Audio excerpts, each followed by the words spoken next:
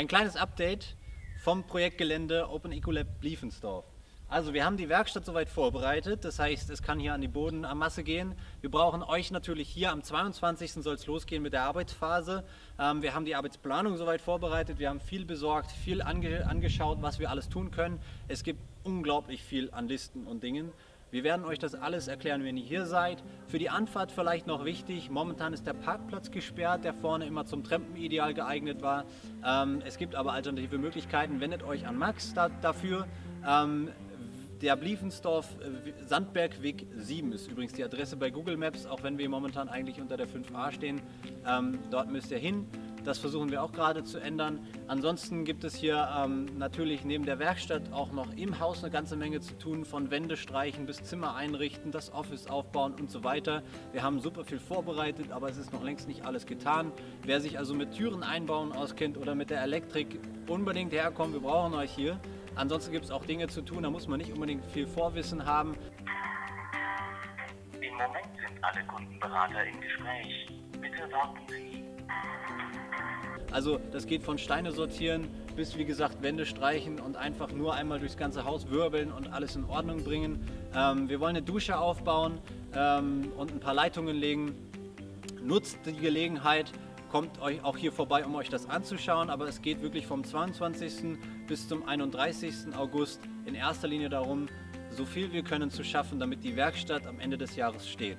Natürlich wird es dann in die nächste Phase gehen. Wir haben, wie gesagt, Ende September die zweite Arbeitsphase. Das heißt, auch dann geht der nahtlose Übergang in die Vorbereitung dazu über. Wer also ein bisschen später kommen möchte, kann das auch gerne tun. Äh, hier gibt es alle Hände voll zu tun. Ja, ich will gar nicht weiter lange erzählen. Ein paar Impressionen gebe ich euch jetzt vielleicht noch mit, äh, was wir hier in den letzten Tagen so gemacht haben. Ansonsten schaut hier rein, kommt vorbei. Wir freuen uns auf euch.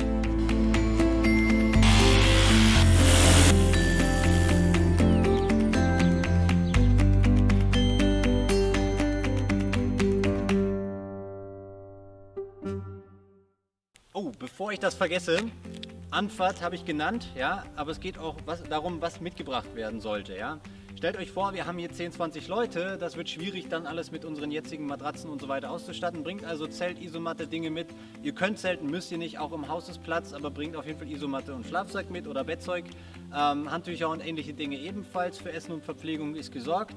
Ähm, Klar könnt ihr euch auch an größeren Dingen austoben, wie dem Gesamtkonzept oder der Solaranlage auf dem Dach. Ihr seht hier im Hintergrund schön, das ist perfekt geeignet. Aber äh, denkt daran, wir befinden uns noch im Aufbau, das heißt, hier sind noch etwas äh, Basisausstattungsmöglichkeiten nur dort. Wer etwas mitbringen möchte, bitte an Max, Max wenden. Genauso für die Anfahrt, ähnliche Dinge. Regelt das über die Gruppe Bliefensdorf in Telegram. Ähm, ansonsten, ja, was gibt es noch zu sagen? Eigentlich nichts weiter, außer dass es jetzt bald losgeht und ich freue mich richtig auf dieses Jahr. Hoffentlich schaffen wir ein gutes Stück vorwärts, sodass wir ein Vorzeigeprojekt hier in Deutschland endlich haben für Open Source Ecology. Und äh, in diesem Sinne, einen schönen Tag euch.